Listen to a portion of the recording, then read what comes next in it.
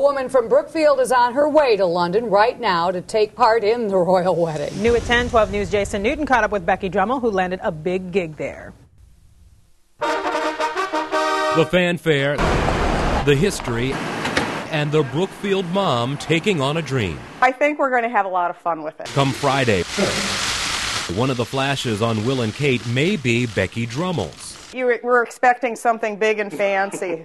this is what I'm using along with a camera. She's been picked to snap, tweet, and report all she sees starting tonight for USA Today, including a school's contest to design Kate's dress. That's something a little different. Not everybody else um, not any of the other reporters have that local background.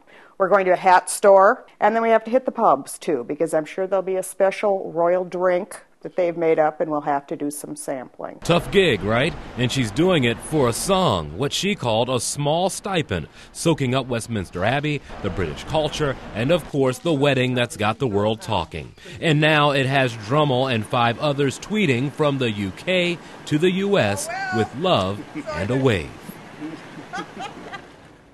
And besides her observations, she'll also be tweeting some Royals trivia on her Twitter page. If you want to follow her, you can just go to the As Seen On section of our website, WISN.com. We also hope to share some of her pictures on the air.